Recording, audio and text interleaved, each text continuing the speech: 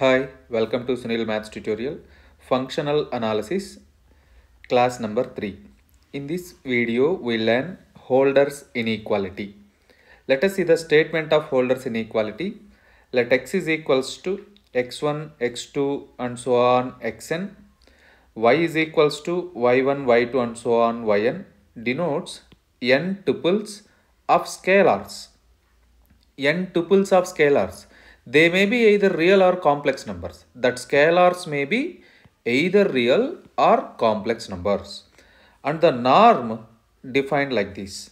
Norm x is equals to norm x over p is equals to summation over i is equals to 1 to n mod xi power p whole power 1 by p for all p greater than or equals to 1. For all p greater than or equals to 1. Then the Holder's inequality can be written like this. Summation over i is equals to 1 to n mod xi yi less than or equals to norm x over p norm y over q. You can replace this q by p also. Okay. Now we prove this inequality. We learn the proof of this inequality. Suppose if x is equals to 0 or y is equals to 0. If any of the tuple is 0, if either x is equals to 0 or y is equals to 0, then the inequality then the inequality is trivially true, is simply true. There is nothing to prove. If any one of the vector either x is equals to 0 or either x is equals to 0 or y is equals to 0, one of the vector is 0, then obviously the inequality is true, there is nothing to prove. So let us take x and y be non-zero vectors. Let us take x and y be non-zero vectors. Both are non-zero vectors. So if any one of them is 0, then it is not equal, then the trivially, there is nothing to prove that inequality is trivially true. So x is not equals to 0 and y is also not equals to 0. To prove the Holder's inequality, to prove this Holder's inequality, Holder's inequality, we use the following lemma. We use one lemma. Lemma means it is a standard result. It is a standard result. That is, if ai greater than or equals to 0, comma bi greater than or equals to 0, then ai into bi is equals is less than or equals to ai power p by p plus bi power q by q let it be equation number 1 where remember that where remember that both p and q both p and q real numbers and greater than 1 they satisfies one condition 1 by p plus 1 by q is equals to 1 1 by p plus 1 by q is equals to 1 remember that so to prove the Holder's inequality we use this standard result. Observe that if anyone needs this proof of this standard result mention in the comments then I can prove this result. I can make one more video to prove this inequality. So in the same inequality, put ai is equals to mod xi by norm p and bi is equals to mod yi by norm yq. We replace in equation 1 ai by mod xi by norm xp, bi by mod yi by norm yq in equation 1 we get. In equation 1 we get.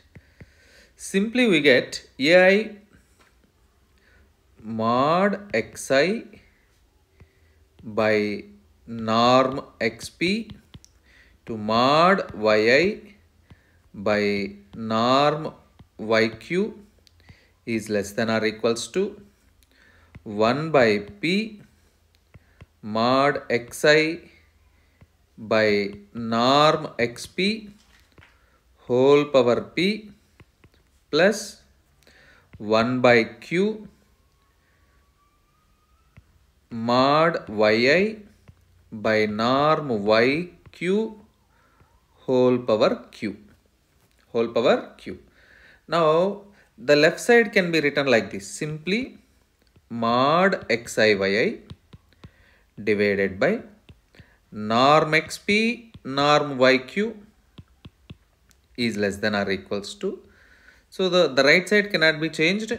As it is we have 1 by p mod xi by norm xp power p here also power p plus 1 by q mod yi power q by norm y q power q that's it.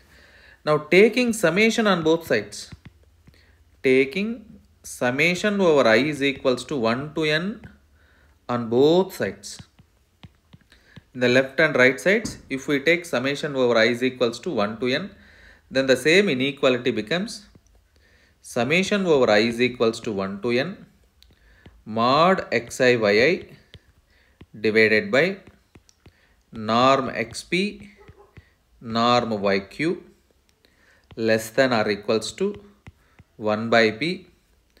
Summation over i is equals to 1 to n mod xi power p by norm xp power p plus in a similar manner you can write 1 by q summation over i is equals to 1 to n mod yi power q divided by norm yq power q. By the definition of norm, the left side is as it is you have.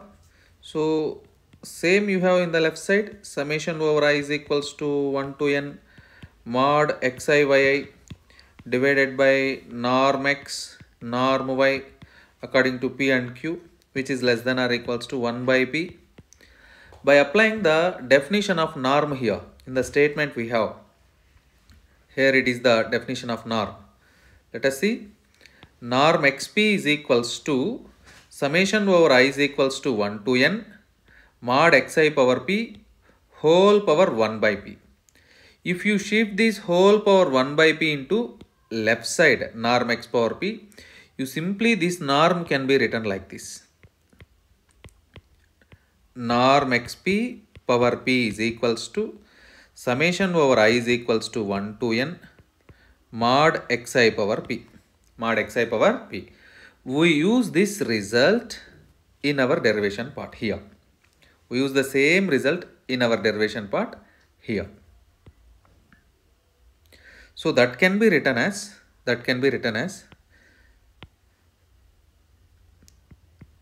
norm x power p divided by norm x power p plus 1 by q norm y power q divided by norm y power q.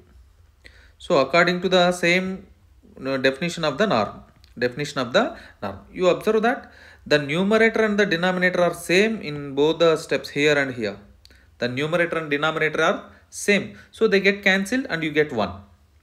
So that left side completely takes the form summation over i is equals to 1 to n mod xi yi divided by norm xp into norm yq is less than or equals to 1 by p plus 1 by q. In the lemma, we assume that 1 by p plus 1 by q is equals to 1. So we assume that 1 by p plus 1 by q is equals to 1. So by using that result, this must be equivalent to 1. It means, it means summation over i is equals to 1 to n mod xi yi divided by norm xp norm yq is less than or equals to 1. Now shift the denominator into right side, 1 into the term is you get the norm. Summation over i is equals to 1 to n mod xi yi is less than or equals to norm xp into norm yq. That's it.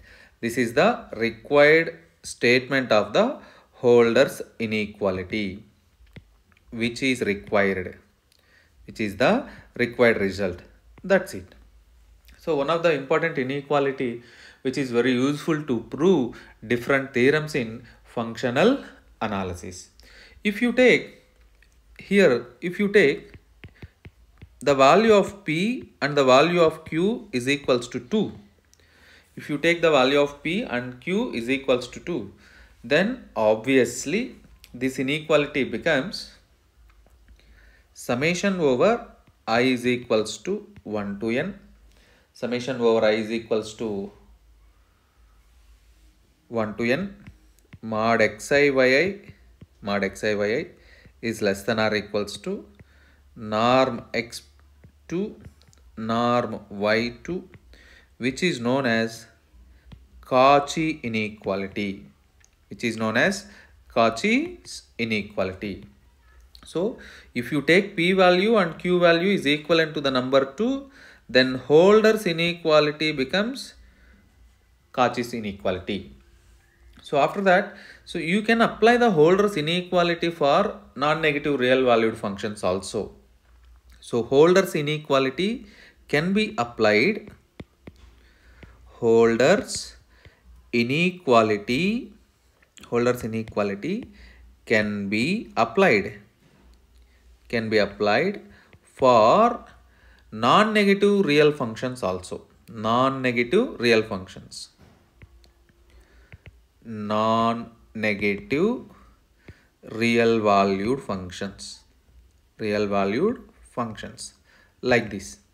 Suppose f comma g both are non-negative real valued functions defined over a closed interval a comma b. These f and g are non-negative real valued functions defined over the closed interval a comma b. Then the Holder's inequality can be written like this. Integral a to b mod f of x into g of x is dx less than or equals to integral a to b mod f of x power p mod f of x power p dx whole power 1 by p into whole power 1 by p into you can write g of x also.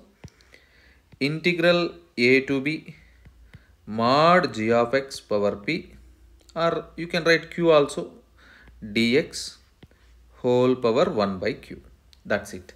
So Holder's inequality can be applied for non-negative real valued functions also. In the Holder's inequality, same, if you replace P and Q by a real number 2, then you get the Cauchy-Schwarz inequality or Cauchy's inequality. So this completes the, this is the complete information of Holder's inequality. In the next class, we will learn about Minkowski's inequality. That's it. Keep learning.